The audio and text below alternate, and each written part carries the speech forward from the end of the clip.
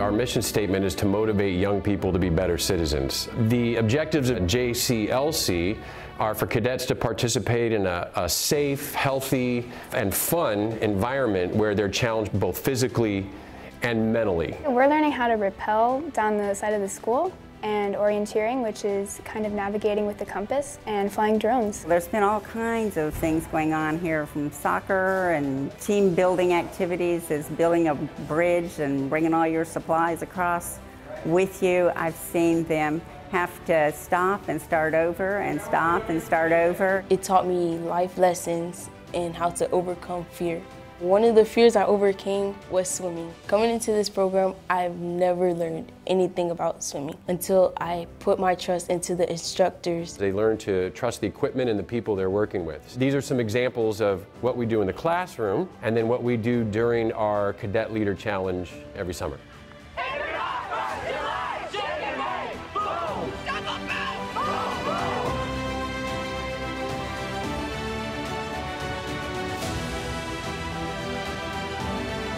No matter where they're at athletic-wise or how they're working with their brain, everybody's included because you can tell that these kids are on all different levels around everything with this and they're able to actually do something as a team. It's kind of a numbers game and with the instructors with the JROTC program, I feel like they've really become role models for her, kind of take kids under their wing. All JROTC instructors are retired military service members. They have 20 years or more of leadership experience working with young people, and then they translate those skills into a classroom. It provides a lot of structure, a lot of maturity, a lot of discipline, and, and students can take those type of model behaviors and translate them into other classes.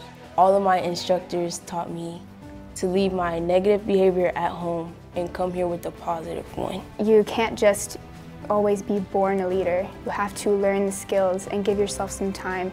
You can't bully yourself if you mess up, because it's a learning process.